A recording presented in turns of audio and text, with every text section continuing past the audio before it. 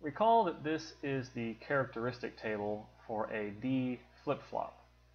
Now, it may seem unusual that an input of 0 gets me an output of 0 and an input of 1 gets me an output of 1. Why is this circuit so complicated if all it does is give me the same value I put into it? So the important thing to remember is that this transition assumes that a clock tick has occurred. So if the clock gives a value of 1 at the same time that D is 0, then the next value of Q will be 0. Whenever there is not a clock tick, the sequential circuit is bistable, like all of the flip-flops and latches we talked about, so it will maintain its previous value. Now we can abstract the circuitry we saw in the previous video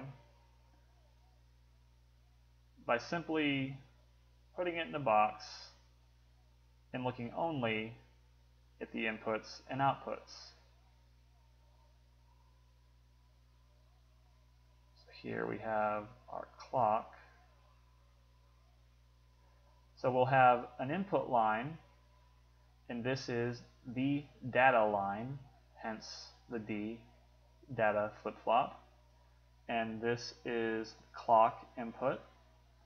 And then Q will be the actual value that is stored in the sequential circuit. And we can also access not Q, although in practice we'll often discard this value. However, it is needed internally for the circuit to remember the bit that it's storing.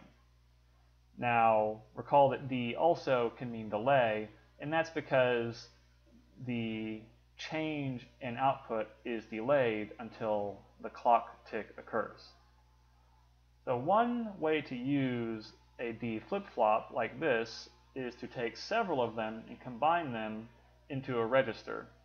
So I will be representing a 4-bit register using four of these D flip-flops. So let me draw out the flip-flops. Note that I have left out Q's negation since I do not need that value here. So we have four D flip-flops. Let's see how the input and output lines are wired to these flip-flops. We will have an input for each data line. So these are the data lines here. And we'll go ahead and label them. So it'll be D, and I'll say 1, 3. So the first one represents that it's an input, and the second value is the bit position. So we have the third, second, first, and then zeroth bit position. So here are the input data lines, and then Q from each of these will be our output lines.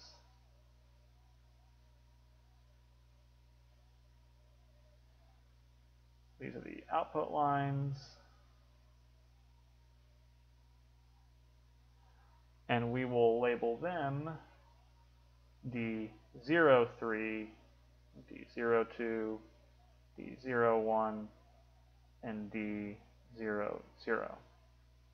Now, what's interesting about this 4-bit register is how we wire the clock. So I want all of these flip-flops to update their contents at the same time. So I have a single line here that goes into the clock input of each flip-flop,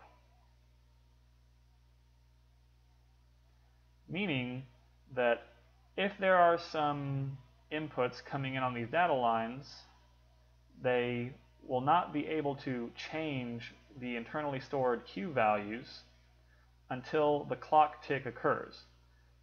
That clock update will strike all of these at roughly the same time, and then the stored values in the register will go from their previous values to their new values more or less simultaneously. And then until a new one signal comes in along this line, the outputs will continue to be the same as whatever value is stored. But here is a further bit of cleverness. I'm not going to hook this line directly to the clock. I'm going to hook it to an AND gate.